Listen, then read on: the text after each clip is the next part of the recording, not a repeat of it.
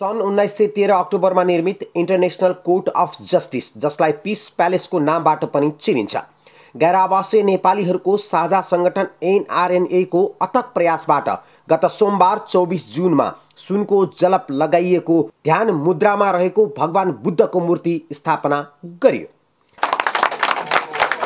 नेपाल सरकारका तर्फबाट बेल्जियमका लागि महामहिम राजदूत राममणि पोखरेलले विधिवत रूपमा अनावरण गर्नुभएको यस अवसरमा न्यायालयका पन्ध्रजना न्यायाधीशहरूको उपस्थिति थियो। भने न्यायालयका उपाध्यक्षले भगवान बुद्धको मूर्ति न्यायालयको लागि एउटा महत्त्वपूर्ण उपहार भएको बताए। यस मूर्तिबाट बुद्ध र बुद्ध धर्मबारे प्रचार प्रसार हुन सहयोग हुने पनि बताए। यसै अवसरमा उहाँले सुन्दर नेपालमा शान्ति छाओस् र आर्थिक रूपमा पनि प्रगति होस् भन्ने शुभकामना पनि व्यक्त गरे। यस अन्तर्राष्ट्रिय न्यायालयमा विश्वभरिका विवादित विषयमा टुङ्गो लगाउने अधिकार यहाँका न्यायाधीशहरूलाई छ। यस्तो महत्त्वपूर्ण स्थानमा भगवान बुद्धको मूर्ति स्थापना गर्न पाउनुलाई गैर आवासीय नेपाली सङ्घले एउटा ठुलो उपलब्धिको रूपमा लिएको छ।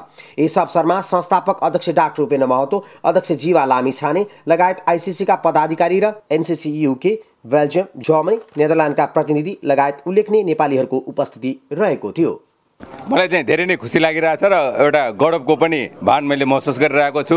किनभनेदेखि नेपालमा जन्मेका भगवान् बुद्धले संसारभरि शान्ति छलियोस् संसारभरिका मानिसहरू चाहिँ समृद्ध हुन् खुसी हुन् सुखी हुन् भनेर जुन एउटा सन्देश दिनुभएको छ त्यो सन्देश आज अन्तर्राष्ट्रिय न्यायालय मार्फत हामीले सम्पूर्ण विश्वलाई दिन सकिरहेको छौँ।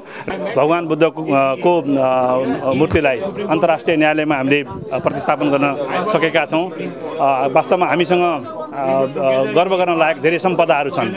तर मुख्य गरेर माउन्ट एभरेस्ट र भगवान् बुद्ध नेपालमा जन्मेको लुम्बिनी हाम्रो लागि चाहिँ हामीले बिर्सिन नसक्ने सम्पदाहरू हुन्। र अहिले पछिल्लो समयमा भगवान् बुद्धको जन्मभूमिको बारेमा विवाद पनि चलिरहेको परिप्रेक्ष्यमा अन्तर्राष्ट्रिय न्यायालय जसलाई चाहिँ युनाइटेड नेसनले विभिन्न कन्ट्रीहरूका बिचमा विवाद भयो भने पनि त्यहाँ निर्णय गर्ने अधिकार दिएको छ। त्यस्तो ठाउँमा आज हामीले प्रतिस्थापन गर्न सकेका छौँ। त्यसैले अब कसैले कुनै व्यक्ति अथवा कुनै राष्ट्रले नै बुद्ध नेपालमा जन्मेका थिएनन् भनेर विवाद गर्यो भने त्यो विवाद चाहिँ नै टुङ्गिएको मैले गरेको अवस्थामा त्यो विवाद टुङ्गिएको रूपमा मैले लिएको छु यसलाई। र यो हामी सबैको लागि इन्टायर एनआरएन कम्युनिटीको लागि एकदमै गर्वको क्षण हो। अन्तर्राष्ट्रिय न्यायालयका पन्ध्रजना सम्माननीय न्यायाधीशज्यूहरू त्यसको उहाँ प्रेसिडेन्ट उप भाइस प्रेसिडेन्ट लगायत उहाँहरूको उपस्थितिमा हामीले यो अनावरण गरेका छौँ। असाध्यै गर्वको महसुस भइरहेको छ। नेपाली टेलिभिजनको लागि राजेन्द्र भट्ट हेक नेदरल्यान्डबाट।